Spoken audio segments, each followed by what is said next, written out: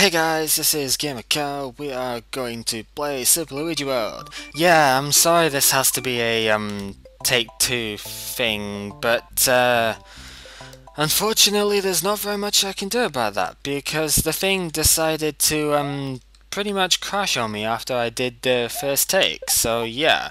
I also realized I could probably up my um, video quality settings for this actually, but I think it's just about okay as it is, and this is the sort of settings I use for um, Touhou, so you know it kind of works fine. Uh, the main thing that I do want to note though is as a result of a couple of um, recent videos that were not being quite what I you know would like quality wise I'm actually now trying a new different type of setup thing which is um, going to be using Blueberry to um, record uh, both the audio and the video you know game music and the narration at the same time. So this is a basic um, farming type of thing. So you know you get items for it. That's what we've just said and yeah, it's really it's really, really, really easy to come and get items out of this. So what I'm going to do, rather than just annoying myself to hell and back by having to come back here and get fire flowers if I need to restart the stage, I'm going to put a save state at the start of the level, and that's going to be it. I'm going to use that simply because, you know, this stage is rather annoying, and I don't want to collect the items all over again. So anyway, there's an Eerie gener generator throughout this whole thing. I still need to talk slower sometimes. Yeah, well, you know, that's probably not gonna happen. So anyway, Eerie's, um, and that's not a good start at trying to avoid the Eerie. I've been playing too much Touhou recently. I've not, um, you know, played this again and actually thought, oh hey, let's try and, um, do it well. Really now, Cal, that's bad. Um, I know you're supposed to go underneath that, but I never really saw the point, so I end up just uh, skipping it, pretty much. That's all I've got to say about that. So, riding the Eerie, even though we don't really need to, you know, that's kind of there, because there's so many on the screen, that Koopa, you know, kick guy there doesn't appear. Not that I really care, because he's not in the way anyway. So Jesus Christ, there is a lot of Eeries underneath us here. That is definitely scary. It's making most of the plants despawn though, which is pretty good. Why did I fall off him there? I don't know. Uh, so yeah, that is where we are at at the moment. I suppose that Koopa is glitching through the platform, which is kind of weird. Don't know what to say about that, because yeah, it's just unusual. So there is some Eeries that decide to go weird ways, and if you want to go across there, there is a 3-up moon over there actually, but I'm not going to show it because it's impossible almost to get back. So yeah. Oh, we'll defeat the green fool, yeah, yeah, yeah, survive encounter, stuff, blah blah blah, yeah, basically he's egging us on. And there is a bomb up there, because yeah, this is one of my most hated sections of the game so far. They, you know, so far, this is the very last thing. It's obviously going to be there. Basically, there is a para generator in this room. Of all the things to put in a room where you are forcing the guy to go up towards the ceiling, a para generator is among the worst of them. But that's okay, I do not know how I got away with that, so I'm not complaining, I just really don't know how I got away with it. Anyway, the enemy palettes are extremely odd in this place. I kind of get the effect. Why did I do that? Oh man. Yeah, well, see, this is what I mean by just loading the state, because I'm gonna get more lives if I go back anyway, so it's not as if I'm gonna cheat myself on life count, because I'm actually making it harder for me in that sense, but yeah, this whole place is just extremely weird though. I don't know what I'm doing. Um, I'm playing really badly at this, actually. This is not good whatsoever. Okay, so Eerie Man. Yeah, I don't know, I'm probably just gonna keep this in because I've been talking too long anyway, so whatever. I know you're supposed to go down at that point, but I never really saw the point, so yeah. My big gripe with these things is the Eerie generators, you know, they're, um, Eeries are really annoying because they happen to often phase like halfway through tiles. So it ends up uh, it ends up in the situation that you end you yeah, let's just repeat ourselves a whole lot. Yeah, it ends up in a situation where you stand on a platform and you end up actually um, getting yourself hurt because the dude just happens to be phasing through the platform at that point. Yeah, obviously it's up is the direction we're supposed to go, but there was way too many areas for me to do that. There... Damn it. I think there might be something down there. I've never really looked. Let's go and have a look-see, actually, because I think I can do that. So let's just see. The time limit is really quite generous for this level, actually, so it's not nearly as long a level as it makes out to be. Yeah, there is something down here. Wow, okay. Um, I have no idea. Oh, you're supposed to... Well, that was totally not really clear, so yay for the game being ambiguous. well, it's fine, because it doesn't overly matter how you do it, it's easy enough to get up regardless, so yeah. I'm happy with seeing that though, because that means that it's not quite as ridiculous as one might originally think, even though one has no real reason to think that it's ridiculous.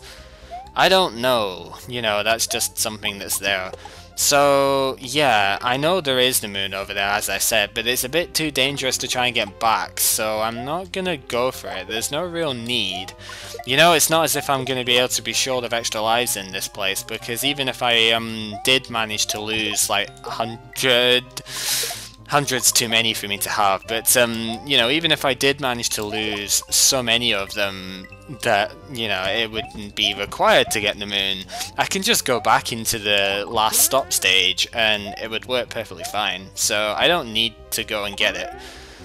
Although I guess if you would want proof, then I would have to, but um, you're just going to have to take my word. Or better yet, play the game yourself and find out, you know, I'm definitely not lying at it though, that's the thing.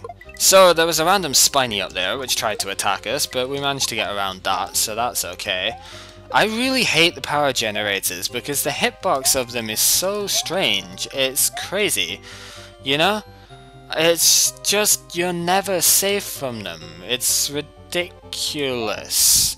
Right, okay, go, go, go, go, go away from him. Yeah, I'm not even going to bother trying to get the dragon coins in this place because it is pointless at this stage. Hopping flame, it's pointless. Why? Oh, I am sure I spun jump there. I am absolutely sure I hit jump. That's the same thing when I try and do death bombing and stuff in um, Touhou. I always end up um, finding that I hit the button too late and it's just irritating. Um... Yeah, I can't remember too much of where I'm going at this point. I played this about uh, four days ago, I think. The Dark Coin Trial, I remember, is extremely misleading, though. I think I hit rewind at that point, because that was just blatantly unfair. But I don't need to do it this time, because I actually remembered that it was a trap type thing.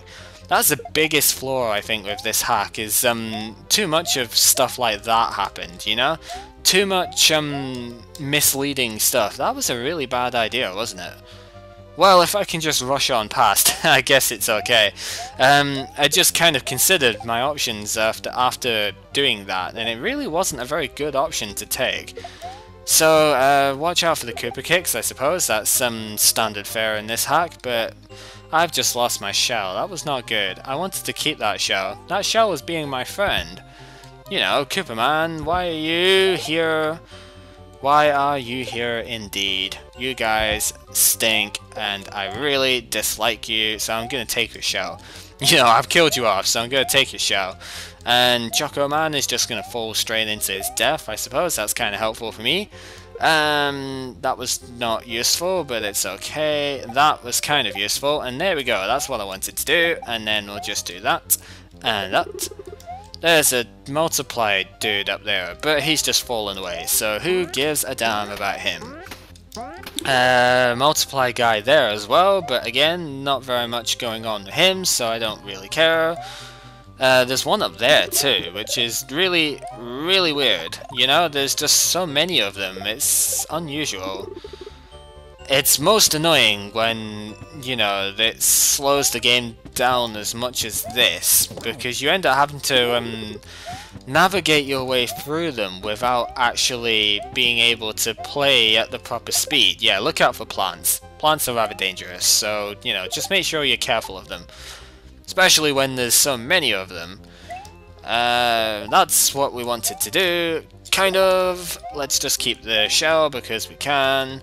I don't believe there's anything over there. You know, I'm. I don't know how you would check because honestly, um, yeah, there doesn't look to be anything over there, but it's suspicious regardless. However, I really don't know how you would check it out, so I just tend to ignore it. Okay, so I don't know what the hell happened there, actually. I'm trying to work that out now, and it's not something that I can do. I think it's just, uh, you know, with this being an 8-directional controller, sometimes I guess it's, um... It doesn't pick up exactly where I want to go because it ends up picking it up as a diagonal direction just because of the way I press the um the D-pad I suppose. I don't know. Um, that just sounds like an excuse to be honest, but whatever. So there's plants, more plants in this place. You know, plants are very dangerous creatures actually. You know, you might not think that, but when you consider that these guys are um, spewing fireballs all over the place and, you know, making my shell disappear, because that's just how it goes. Uh, Choco, please die. Yep. Except they've not made it disappear, because there's a platform down there. Duh. Oh, well, whatever. So, if I remember rightly, this was not too difficult. Yeah, this is really not overly hard, because you've just got to go back up now, and there's not a whole lot to. Was there something over here? I can't remember. Well, there's a dragon coin. I suppose that that does count as something. You know, that is definitely a thing. It's not something I want, but it's definitely a thing, so I was right in saying that. Yeah, you've got to fall in there. That was completely clear if you didn't know. I actually got that first time as well, so it's pretty great.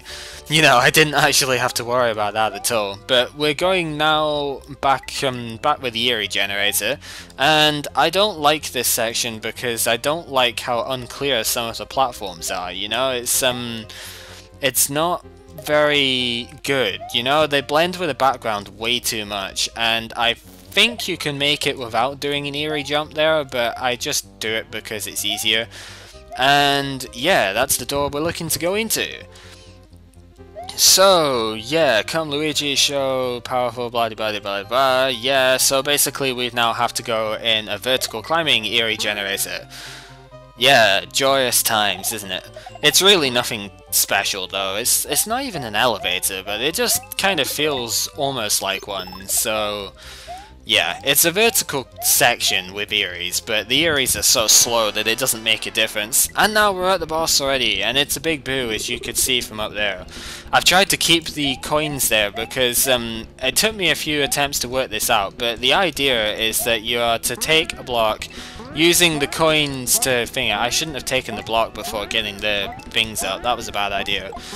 Um, yeah, but the idea is that the coins are pointing to where note blocks are, so you have to do a big old, you know, thing to get up to the moon, up the top, and, whoa, that was way too close.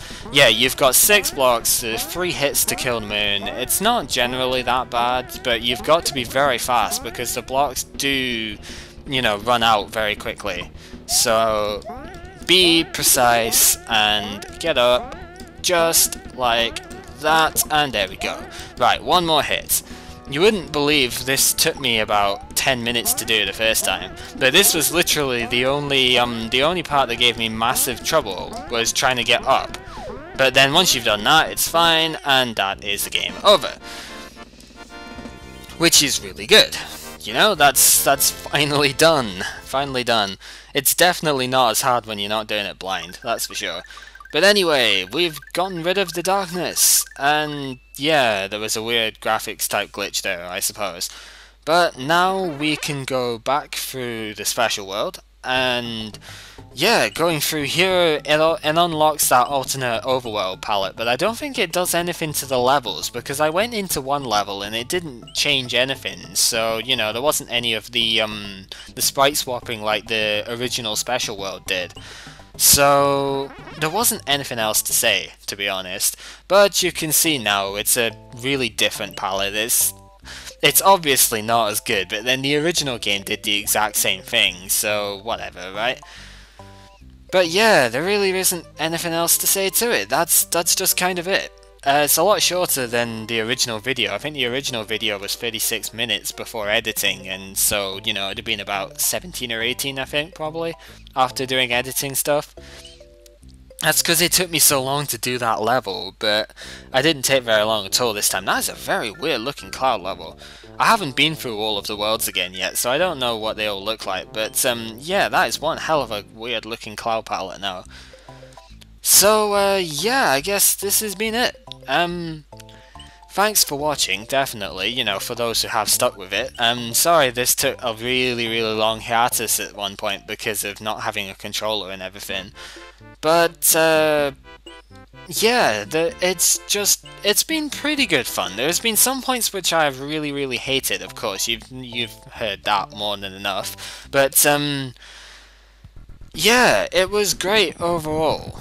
Um, a little bit overusing Koopa kicks and stuff, and a little bit unfair with blindness and, you know, misleading coin trails and stuff, but compared to a lot of hacks that I've seen, it's very good. Very good.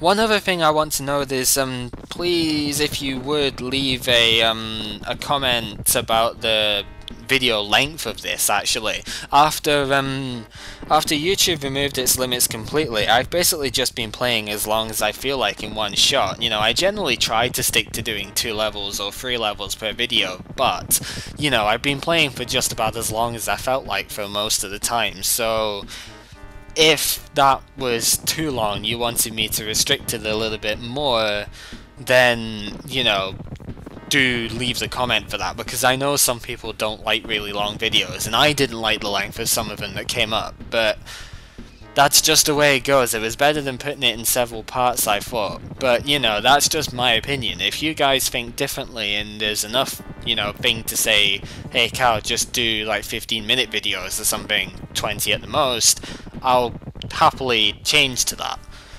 But yeah, feedback is important, so if you would leave that, that would be very good. Um, so yeah, I guess that's just about it.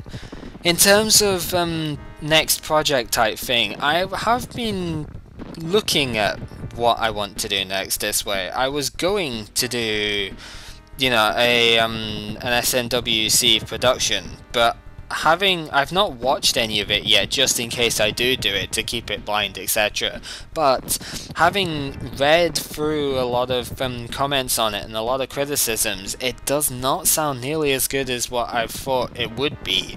And with so many people doing it just now as well I honestly don't want to you know so, in terms of Mario hacks, I probably won't be doing another one for a bit, simply because I now have my Wii back. I've had it for almost a week and I've not played it yet, that's really bad. But um, I want to do Wii games as the next thing, and of course you've seen the Touhou introduction thing, there's a fair few um, people have come for that as well, and I am getting there. I just need to try and adjust my audio. Right. I need to re-record it after now because of the audio desync issues. I want to do a better run that I have proper recording for, so that's gonna come, but it's not gonna come, you know, like immediately like this.